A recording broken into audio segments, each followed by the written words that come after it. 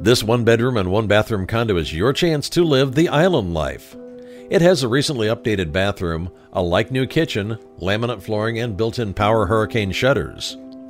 Located on Island Estates, Dolphin Cove is a short distance to the Clearwater Marine Aquarium, restaurants, and shopping.